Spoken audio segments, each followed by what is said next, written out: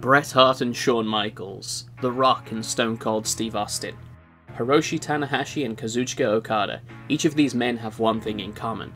Sure, they have all held the top title belts for their respective companies, but there is one title they have fought over. This title isn't simply won, it is earned, and that is to be the ace of a company.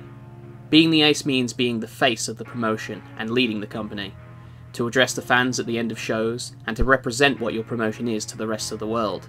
When people think of your wrestling company, they should think of you, and vice versa. It's a title that very few are privileged to obtain. Tokyo Joshi Pro Wrestling started as a tiny promotion, so small in fact that they could not even have two matches per night, needing the referee to perform samba alongside one of the other girls. They didn't even have a ring and would perform alongside other acts like singers in a sort of variety show. Miyu Yamashita was one of the first wrestlers in the company, and while she does dance during her entrance, she's presented as someone with a martial arts background with a strike based offense. Yuka Sakazaki joins Tokyo Joshi almost a year later. She doesn't have a wrestling or martial arts background, instead coming from a comedy idol group. And this shows as most of her matches are focused on entertaining the crowd with gags rather than with wrestling ability. Miyu and Yuka meet for the first time in one of Tokyo Joshi Pro Wrestling's early shows. In a straight up match, Miyu would win no problem, so Yuka employs dirty tactics to get the upper hand. The unorthodox offense catches Miyu off guard, and Yuka is able to get the better of her. After arguing a 1 count with the ref as a 3 count, Yuka again unties his shoes so that when Miyu goes for the pin, it cannot be counted. It allows to buy Yuka enough time to escape, but after a barrage of kicks from Miyu, the match is won. For their second encounter, Miyu is a lot more cautious of Yuka, even during the pre-bell handshake, but Yuka annoys Miyu enough that she is able to dodge and counter a frustrated forearm.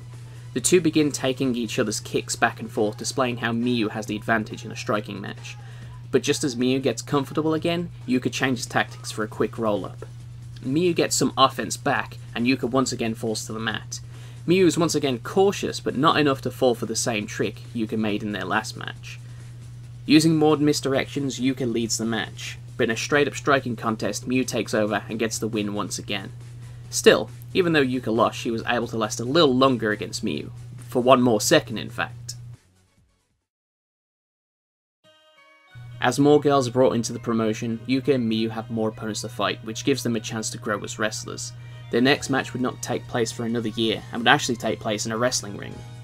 Yuka comes out displaying her new gimmick with a pointy hat and a cleaning broom because she is now a magical girl. Miyu takes the lead at the start of the match with powerful kicks, and after a backbreaker, Yuka is left motionless on the mat. Miyu is way more cautious when going for the pin, but instead of the roll up she was expecting, Yuka uses one of her magic spells. The distraction catches Miyu off guard long enough for Yuka to employ her winning strategy of the match. She employs a chin based offense, believing it to be the weak point of Miyu. A frustrated Miyu begins stomping on Yuka in the corner, only to be pulled away by the ref. This allows Yuka to prepare another one of her spells and fires it directly in Miyu's mouth. The ref tries to take the remainder of Yuka's poppers, and so she fires another in his mouth. With Miyu down and no ref to officiate, Yuka pulls out a large string of elastic and stretches it. Miyu escapes two attempts, but the third time's the charm and gets hit. Yuka grabs her broom and flies off the top rope, but an angry Miyu counters. Attitude adjustment and the Crash Rabbit heat, Miyu pins Yuka once again. Later that night, positions are pulled for the Princess Cup, a single elimination tournament that starts next show, and unfortunately for Yuka, she and Miyu will be facing each other for the first round. After the match they just had, neither are thrilled, Yuka even attempting to steal other girls' lottery balls so she can fight someone else instead. Yuka is much more reserved during the introductions of the match, either annoyed at her current circumstance or thinking of a strategy to finally beat Miyu. The match starts and the two lock up, after a few strikes from Miyu, Yuka lays down in the middle of the ring. Miyu, not falling for the same trick, approaches cautiously and grabs Yuka's poppers before it goes off. Yuka again tries to use the poppers, but Miyu counters that one as well. The usual tricks won't work on Miyu anymore. But Yuka shouldn't need to rely on these to begin with, and in a one-on-one striking match, Yuka is able to not only hold her own against Miyu, but even have her fall to one knee. She counters Miyu's offense and hits the magical girl splash. Yuka impressively keeps control of the match whenever Miyu would attempt to take over. Yuka would again counter to keep the advantage, even being able to slip away out of the attitude adjustment and change it into a roll up. She sets Miyu up on the top turnbuckle and impressively runs across the ropes for a flying drop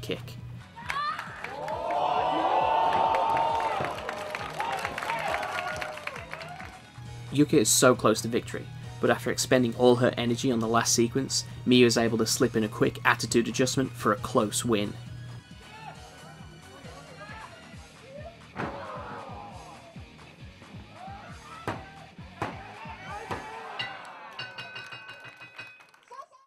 After the match, Yuka is heartbroken by coming so close to beating Miyu and attempts to hide her sadness.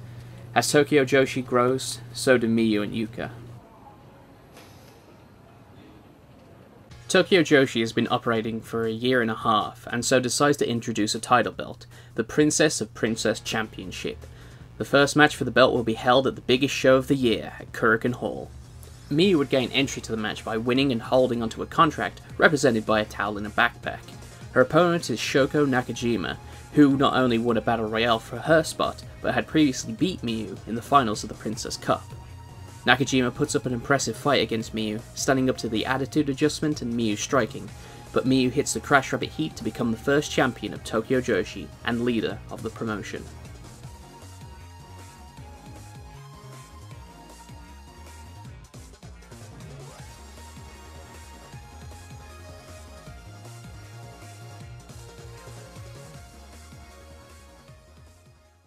Miyu's first title defense comes from Yuka. Yuka was so close to winning last time they met, and she's been working hard. Perhaps the incentive of Tokyo Joshi's title belt will be enough to get her that much desired win over Miyu.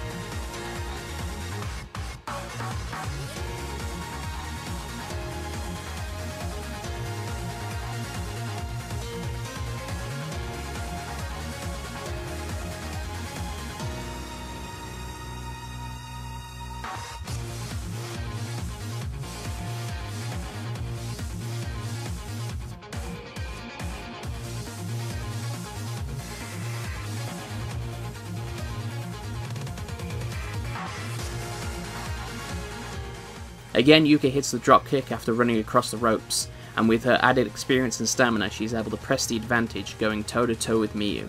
She sets up the magical girl splash. Miyu gets her knees up at the last second and attempts the attitude adjustment. Yuka counters the move, as she has done before, and almost gets the pin. Yuka again dodges Miyu's strikes and sets up the Osakomi backslide, but Miyu is able to slip away, hitting Yuka with a quick kick and a German suplex.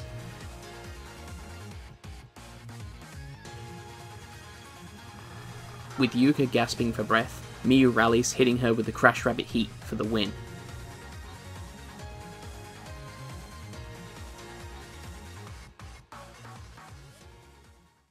Yuka is frustrated with herself for not winning the match. She keeps getting closer and closer, but doesn't have the strength to get the job done.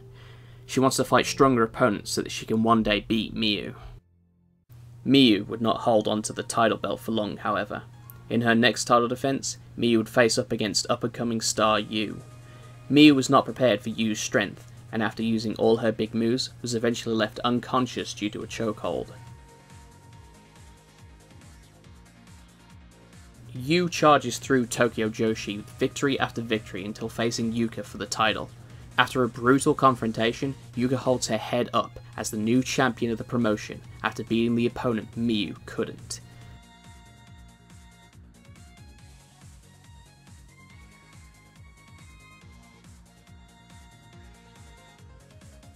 So Yuka heads into the next Princess Cup tournament as champion.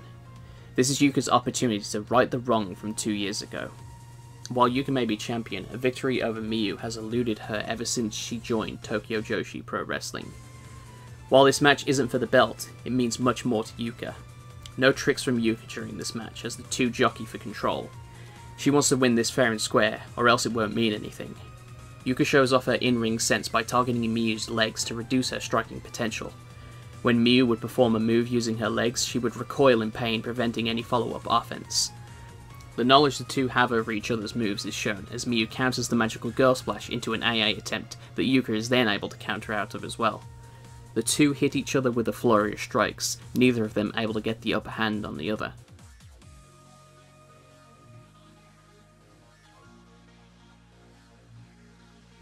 In a repeat of their last encounter, Yuka goes for the magical girl splash again, but Miyu gets her knees up, and then hits a German suplex. Miyu sets up the Crash Rabbit heat, but Yuka catches her and slams her face first into the canvas. After a sliding lariat, Yuka once again goes for the magical girl splash.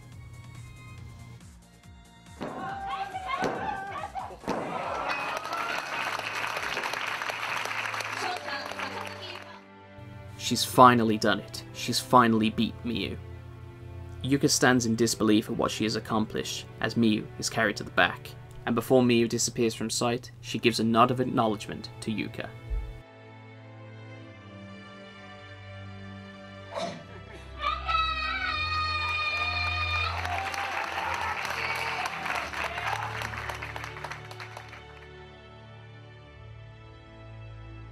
Unfortunately, Yuka would not be celebrating for long, after a hard-fought tournament, Yuka loses the finals to Reika Saiki, giving Reika an opportunity to challenge for the belt. Reika beats Yuka once again for the title, Yuka losing it in her first ever defense. The thoughts that her win was just a fluke are confirmed when Miyu wins the title back from Reika. From here on, Yuka and Miyu's paths through Tokyo Joshi would drift apart. Miyu would focus on holding onto the championship with the longest reign in history, whilst Yuka would see success in Tokyo Joshi's tag division by becoming the inaugural champion with Shoko Nakajima, and then having a second run with the tag belts with Mizuki after defeating Reika Saiki and Maki Ito. A year and a half later, and Yuka and Miyu are once again facing each other, both as champions. The match is more vicious than usual, Yuka clearly frustrated from losing the belt so quickly, and Miyu defeating her opponent. The action spills outside the ring, with Miyu just being able to make it back before being counted out. The two have back and forth offense, but Yuka gets the better of Miyu in the exchanges. She has grown since their previous encounters, and it puts Miyu on the defensive. As Miyu gets control of the match, Yuka would quickly get the upper hand, and as the two have strikes back and forth, Yuka is able to counter Miyu's kicks and begins a flurry of elbows. But Miyu shows how quick she can mount a comeback with a spinning heel kick and then a German suplex, and goes for the Crash Rabbit Heat. Yuka catches her and counters into a brainbuster, setting Miyu up for the magical girl splash. Miyu just dodges out of the way and hits the Crash Rabbit Heat, followed by another. And once again, Miyu has bested Yuka once more for the belt, increasing her number of title defenses to double the previous record. Miyu would go on to hold the title belt for another two months, maintaining her Tokyo Joshi Championship, but also winning the Shine Championship as well. But at Yes Wonderland 2019, Miyu would lose the belt to Shoko Nakajima, and later the Shine Championship back to Allysin Kay a few days later. Miyu ends her title run at 10 defences and 484 days as champion, the longest in the belt's history. And just like before, Yuka is able to beat the person that beat Miyu for the belt, beginning her second reign as champion. Yuka is elated to finally get a chance at holding onto the belt and amend her first title run that only lasted a few months and ended in no successful title defences. But the victory is bittersweet, as higher up on the card, Miyu is facing two of the biggest stars in wrestling in the co-main event of the show. And if things couldn't get any worse, it is later announced that a few months later, at Tokyo Joshi's biggest show of the year, Yuka will be facing Miyu for the championship in her first defense. On the 4th of January 2020, Miyu and Yuka clash for more than just the title. Yuka wanted to prove to not only everyone, but most importantly, herself, that she deserves the title by successfully defending the title for the first time and beating Miyu in order to do it. While Miyu doesn't want to just beat Yuka to get the title, she knows Yuka is good enough to surpass her, it was only a matter of time.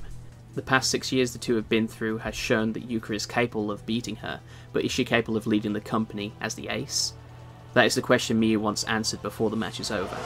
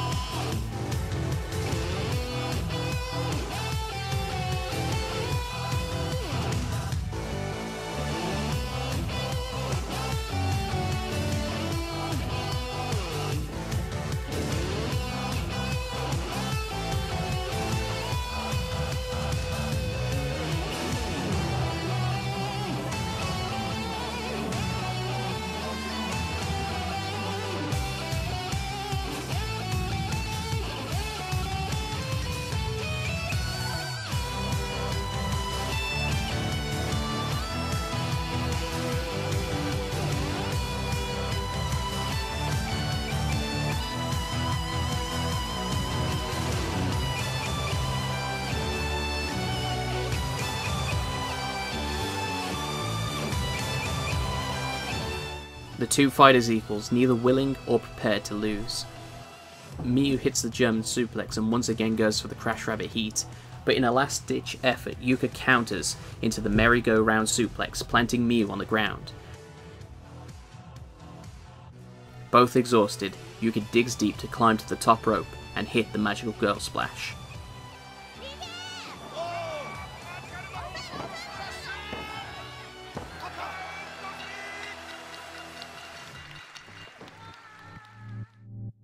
As the two shake hands, Miyu hands over her role as ace to Yuka. Finally, the two embrace, both relieved that the match is finally over. As Miyu is helped to the back, Yuka addresses the fans as champion of Tokyo Joshi Pro Wrestling.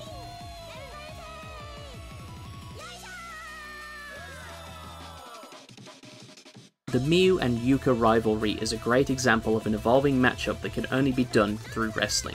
A matchup that has lasted over half a decade, and I'm sure there are plenty more encounters to come. Yuka holds the title belt and represents Tokyo Joshi all over the world, going to small indie shows to big promotions over in America. And she's doing a fantastic job of introducing people to Tokyo Joshi Pro Wrestling. Miyu, on the other hand, is holding down the fort, as it were, in Japan, helping younger talent improve and paving the way for the future top stars. Even though only one can be the ace at a time, the two need each other to reach these heights. Hi, thanks so much for watching and welcome to the new channel. Uh, there are the old videos here which have new footage in them. Uh, there's also a couple more videos on this channel that I made specifically for the brand new premiere.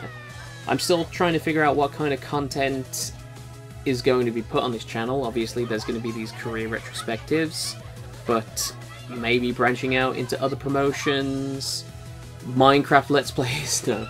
The, the original outline for this video was that it, it was going to be a Miyu Yuka back and forth, but as I laid out the story and I got all the footage and I started recording my own dialogue and then editing it all together, I realized, hmm, this is a very Yuka focused episode. Miyu's just like the surrounding environment that shapes Yuka. So I think I'll go back and do a video about Miyu specifically. I feel like I talk a lot about I talk a lot about Miyu as like the antagonist or an obstacle that needs to be overcome, but I never really get down to the nitty gritty. And there's lots of stuff I've missed out about Miyu's career in this video, like her superb title run and other stuff like that. So I'll probably go back and, and do that. Uh, you should follow Yuka and Miyu on Twitter. Yuka doesn't tweet in English at all. but she posts some cute pictures sometimes. Miyu's trying. She's trying her hardest to learn English. so tweet at Miyu and, and tell her to keep trying and she'll eventually learn all the days of the week. Oh! Saturday! Oh! Friday! Oh, Friday! Oh, Saturday! Thank you for watching this video. Welcome to the new channel. Ta-ta.